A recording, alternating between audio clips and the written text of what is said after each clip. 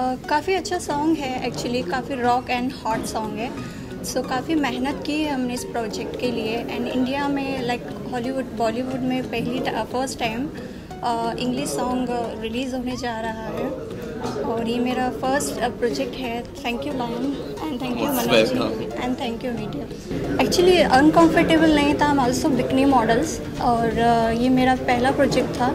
और uh, मैं काफ़ी कम्फर्टेबल थी मिस्टर लाइन के साथ में। मुझे ऐसा कुछ फील नहीं हुआ। She an actor you know she just acted in this song.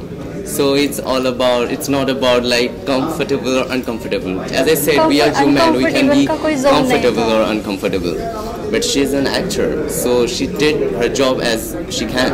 ना सर ऐसा कुछ नहीं था एक्चुअली ये मेरा काम था जो मैंने काफ़ी अच्छे से पूरा किया और मैं काफ़ी खुश इस प्रोजेक्ट से और ये मेरा फ़र्स्ट प्रोजेक्ट था मुझे उम्मीद है आके बॉलीवुड में मुझे लाइक मूवी मिल सकती है या अदरवाइज़ कोई और सॉन्ग मिल सकता है सो so, मुझे मिल सकता है I hope so acting actually मैंने अब तक नहीं किया है बट मैं ट्राई करना चाहूँगी अदरवाइज़ मुझे कोई और प्लेटफॉर्म मिला सही प्लेटफॉर्म मिला तो I will try that People made me to do this. They forced me to do this.